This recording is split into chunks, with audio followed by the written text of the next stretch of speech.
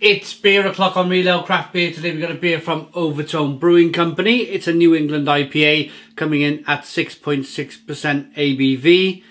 Uh, now the part where you'll have to excuse me. Naw Ye Didnae. It's a... I thought originally it was kind of like, how you doing? That sort of thing in Scotland. But it actually... No, you didn't. It's like, no, you didn't. No, you didn't. So they brewed the beer. Um, I had to have a look at the side of this can just to get the kind of translation sorted and realise why it was called this beer. So they brewed the beer with mango, guava and passion fruit. So when they when when they say, no, you didn't, he? Overtone Brewing replied with, aye, we did.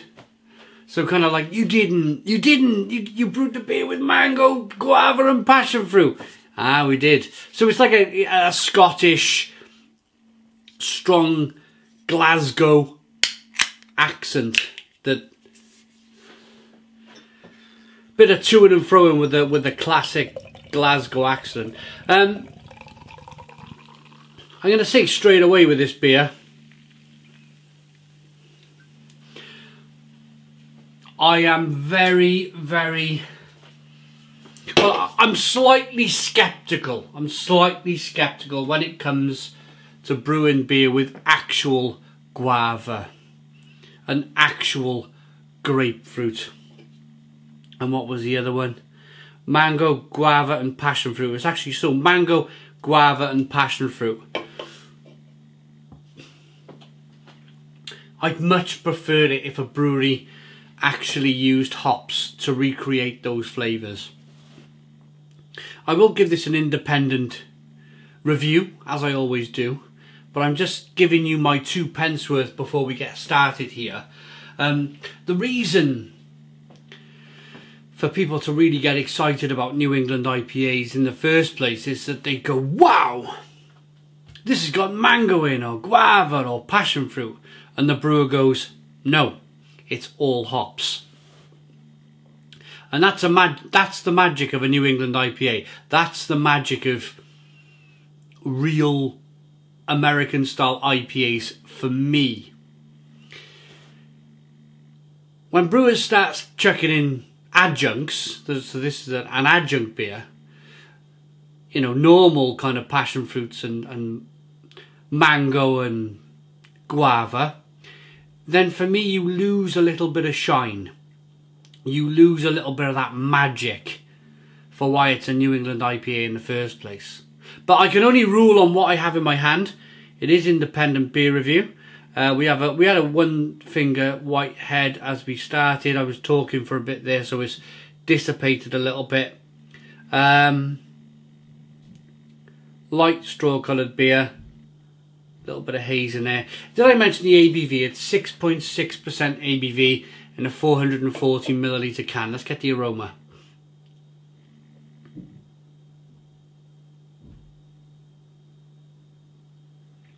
Yeah, see, that's the difference straight away.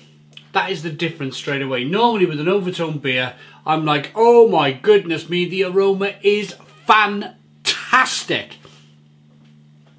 And that's because hops replicate that guava, passion fruit, mango,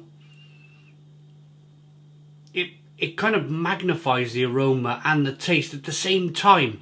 Rather, when I see a beer with adjuncts in, the aroma is always a lot less. There's less of an aroma, more of a flavour. And I'm getting that in this beer here. Let's dive in. Cheers, everybody.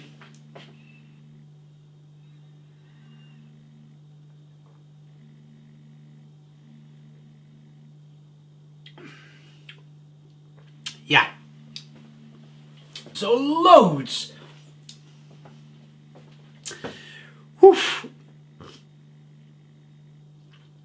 Tons of passion fruit. Tons of, tons of guava.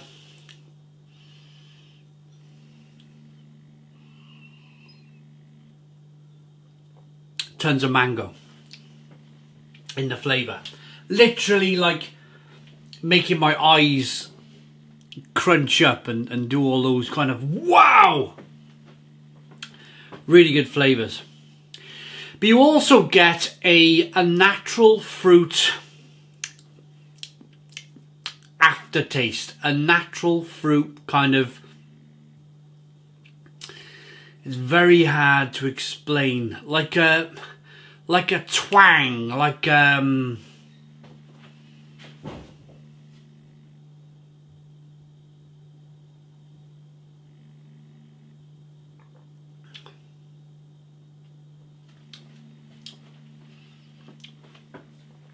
It's not a bitterness on the back end.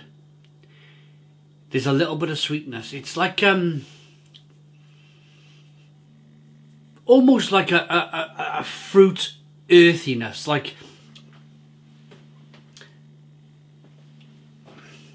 it's like almost like a dulling, almost like a like a it's a longing flavour that continues. It's continuing right now, continues and continues and continues and it's very difficult to get away from. Um, I would personally,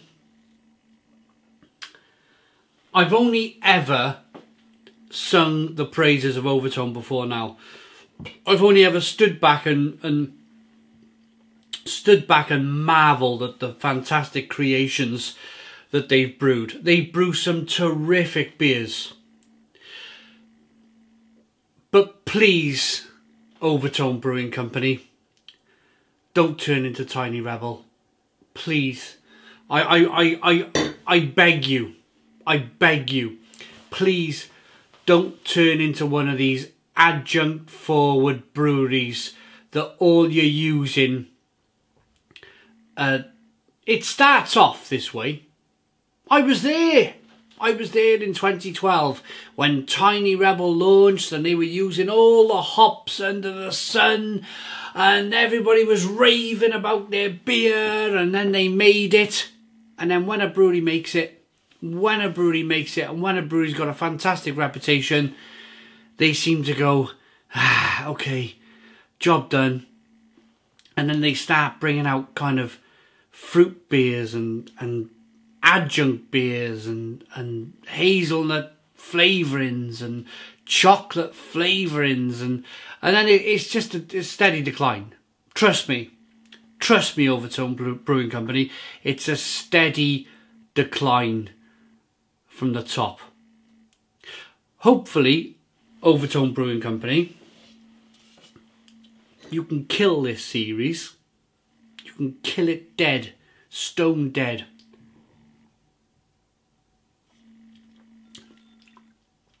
Because I don't mind standing in front of the camera here saying this is the worst beer that you've produced to date. I've only ever said great. I've only ever said in the past great things about Overtone Brewing Company. Only ever said wonderful things about their beers. Mind you, there's a lot of sediment. Look at all that. Now, I'm a wonderful believer of gravity. That's all going to be. Look at the sediment. Can you see the sediment? That's all kind of fruit sediments and whatnot. This is this is going to be a turbocharged taste now of guava, passion fruit, and mango.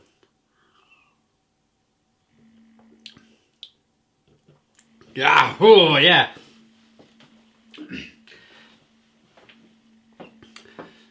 I get it.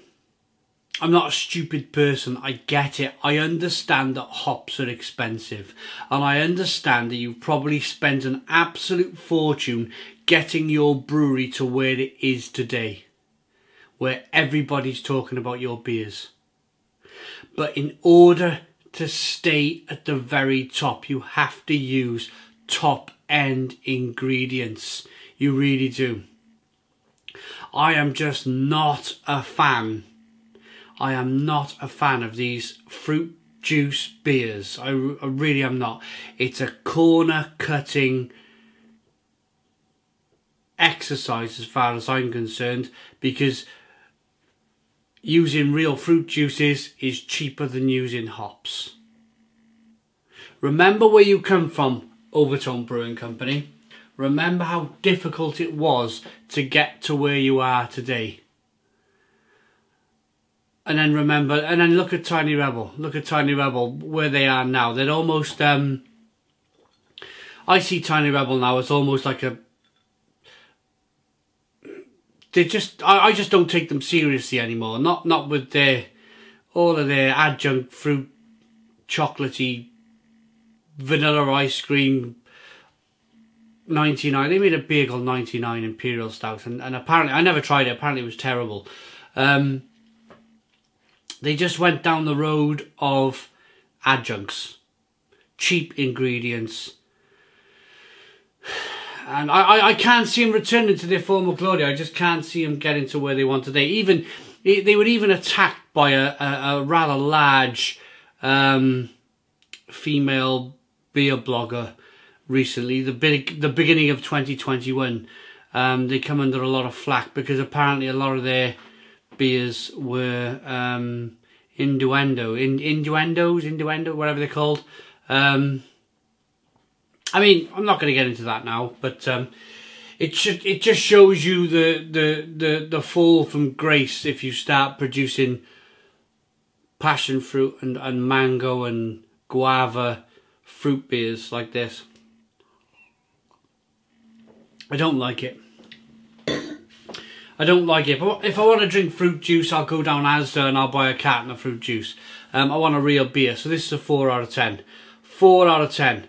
Um, hopefully that was a blip. Hopefully Overtone can get back brewing beers where I shout 9 out of 10 or 10 out of 10. But for now, this one's a 4 out of 10. Thanks for watching. Please put your comments in the comments box. Subscribe to our daily beer and food reviews. Give us a big fat thumbs up. Boom. Cheers.